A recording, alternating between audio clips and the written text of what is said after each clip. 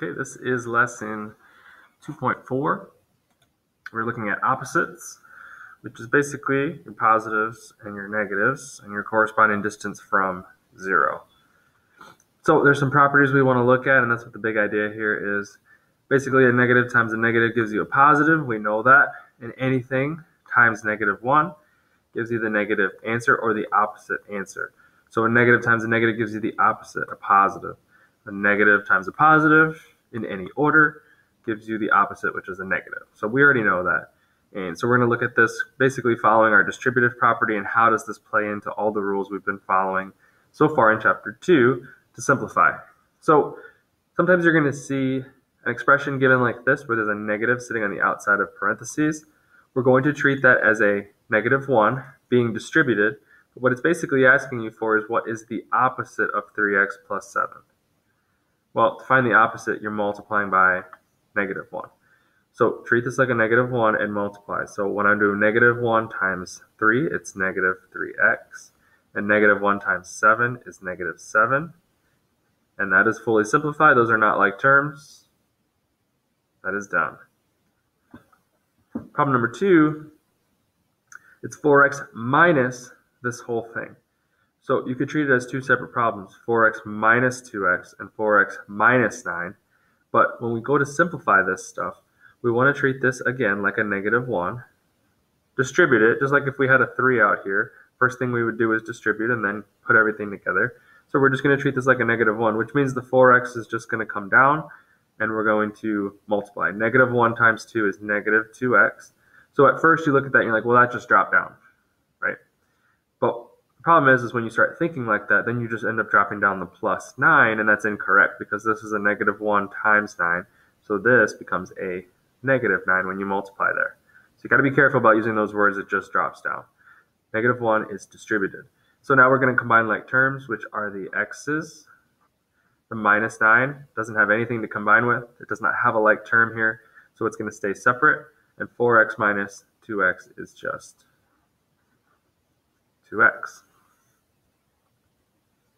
Okay, the quantity x plus 6 minus the product of 7 and the quantity 2x minus 3. So when I'm going to handle this, I'm going to leave the x plus 6 alone, and I'm going to distribute this as a negative 7. So some people like to think of it as a minus, and then you're multiplying a positive 7, but you really got to be careful with that. I'd much rather you treat this as a negative, multiply, and then whatever you get, whether it's positive or negative, write it as a plus or a minus. That will make your life 10 times easier as we go through this. So I'm going to drop the x plus 6 down. If you want to keep parentheses around it, that's fine. But right now, it doesn't make a difference. So negative 7 times 2 is negative 14x. And now a negative times a negative, we need to see that. A negative times a negative is a positive. So we have to write plus, and that's where the mistakes are going to happen. 21. So pretend this isn't here, and just multiply it like you normally would negative 7 times 2, negative 7 times negative 3, positive. Now we've got a number sentence. We've got to combine like terms. Put your x's together and your whole numbers together. So this is a 1x minus 14. That's negative 13x. And a positive 6 and a positive 21 is a positive 27.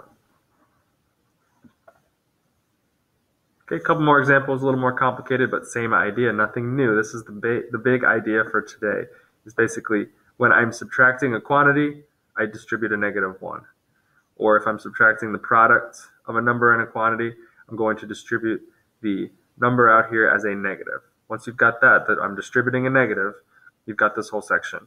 So what, before I start trying to combine anything, it's this whole quantity minus this whole quantity what you want to do is you want to distribute the negative 1. So that's going to create a negative 7k squared. And this is a negative times a negative. Okay, very important to catch that. Negative times a negative is a positive 9. It's a 1, so the number itself does not, change. It's just a negative times 7 is negative 7, and negative times negative 9 is positive 9. This whole thing's going to come down and you don't need the parentheses anymore. It's not incorrect to write them, but you don't need them. And I'm going to combine like terms, which are just my k squareds and my whole numbers. So 3k and a minus 7k, that's a negative 4k squared. And a positive 4 and a positive 9 is 13. Next problem, I'm distributing a negative 5. I like to circle it to make sure I see the negative. So 3y is just going to hang out for a second. Negative 5 times y is negative 5y, which I write as minus 5y. And again, that's where everybody wants to say, oh, it just drops down. But then if you follow that same mentality, this is the part you mess up. So it's negative 5 times positive 1. So that creates a negative, not a positive, 5. Okay, and then I'm just going to combine like terms, which are my y's. The minus 5 is going to stay. It's a 3y minus 5y. That's a negative 2y. Okay, last but not least, got this crazy looking thing with all of these a's and b's and minuses. But the first thing that I need to take care of is getting rid of these parentheses so I can combine some like terms here. So since I have a minus in front of the parentheses, I need to distribute it to everything, all three terms. So this whole front part is going to stay. I'll bring that down in a second. But I need to focus on distributing the negative. So since there's no numbers here, I don't have to actually multiply anything, but I need to watch my positives and negatives. This is a negative times a positive, so it's negative a squared. This is a negative times a negative, so it's a positive b. And this is a negative times a positive, so that's negative c. Now all of this can come down. and I can start combining like terms. So be very careful with your positives and negatives here. Whatever's in front of your term, the plus or the minus, counts as positive or negative. So this is a positive a squared and a negative a squared. Well, those, if you add them together, it's a 1 and a negative 1 is 0. They're gone.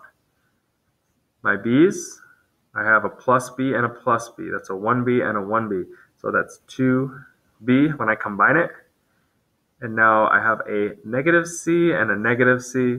So a negative 1 and a negative 1. That's negative 2c, and I write that as a minus. So the main part of today's lesson is just understanding when I see a minus in front of a quantity or in front of parentheses, I need to distribute it as a negative, whether it has a number or it doesn't. If it doesn't have a number, you treat it like a negative 1 and you distribute.